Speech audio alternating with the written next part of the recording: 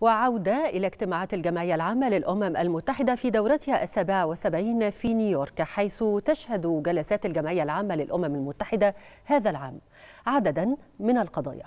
من أهمها أزمة المناخ ونقص الغذاء وارتفاع أسعار الطاقة والنقص في إمداداتها. وتتصدر الأزمة الروسية الأوكرانية مناقشات القادة والزعماء خلال الدورة الحالية. وقد منحت الجمعية العامة للأمم المتحدة الرئيس الأوكراني فولودومير زيلينسكي موافقة استثنائية لتوجيه كلمة عبر الفيديو كونفرنس.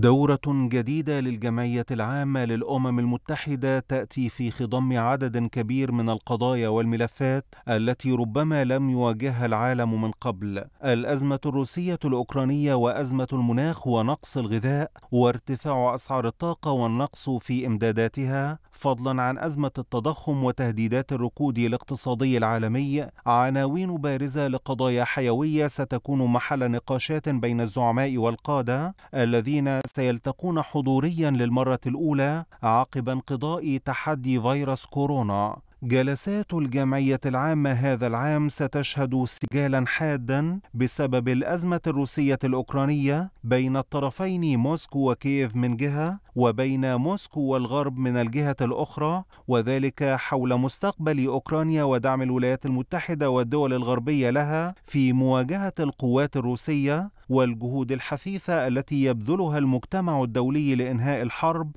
حتى لا يؤدي استمرارها إلى تفاقم أزمات الغذاء والمناخ التي تعاني منها بالفعل العديد من دول العالم. الجمعية العامة منحت خلال هذه الدورة الرئيس الأوكراني فولوديمير زيلينسكي موافقة استثنائية لتوجيه كلمة عبر الفيديو كونفرنس على الرغم من أن القواعد المعمولة بها في هذا الصدد هي ضرورة حضور المتحدث أمام الجمعية العامة من أجل إلقاء كلمته. ولطالما طالبت أوكرانيا مجلس الأمن والجمعية العامة بإصدار المزيد من قرارات الإدانة لروسيا بسبب العملية العسكرية الخاصة في أوكرانيا ومن المتوقع أن يركز قادة العالم خلال هذه الدورة على ربط الحرب في أوكرانيا بأزمة نقص الغذاء التي يعاني منها العالم حاليا في محاولة لتسليط الضوء على الأزمة الأوكرانية وعدم اعتبارها قضية تخص أوروبا فقط.